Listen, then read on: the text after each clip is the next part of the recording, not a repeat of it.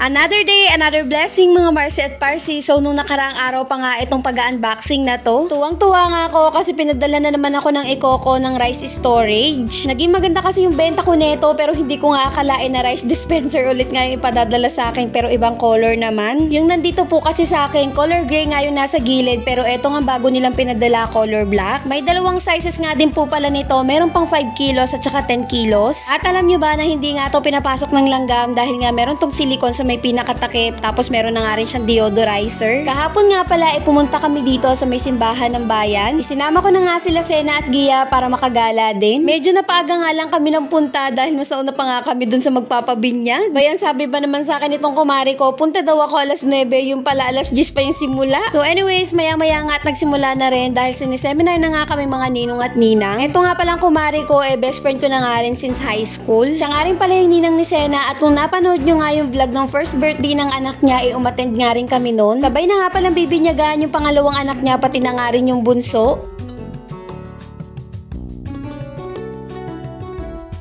Amber, ikaw ay binibinyagan ko sa ngalan ng Ama, ng Anak, at ng Espiritu Santo.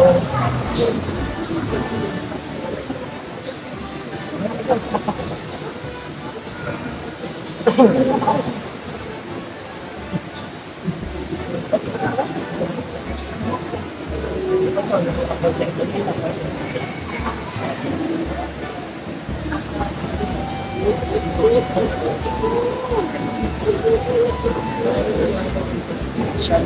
Francis.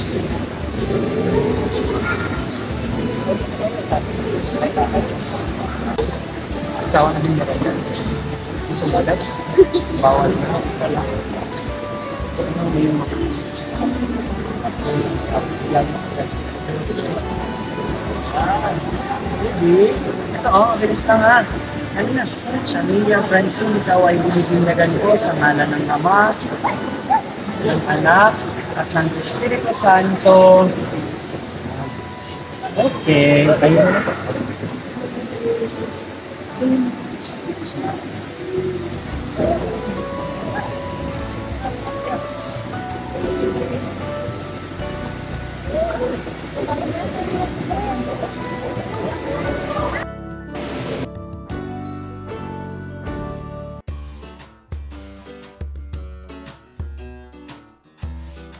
At eto na nga ang aking dalawang inaanak at sa wakas nga eh ganap na silang kristyano. Abay pagkakakit nga rin itong mga batang ito. Maya maya nga lang din natapos na kaya naman picture taking muna tayo. So nauna na nga kami dito mga ninang tapos sumunod naman silang mga ninong. Buti nga meron ng mga ganitong photographer sa simbahan. Maya maya nga lang din eh nakarating na nga kami dito kila Ate Gina at eto nga lahat ng handa nila. Nako po sa pagkadami nga nitong pagkain abay nasira talaga ang diet. At eto na nga ang kumari ko't busy busy nga dahil napakarami nilang bisita.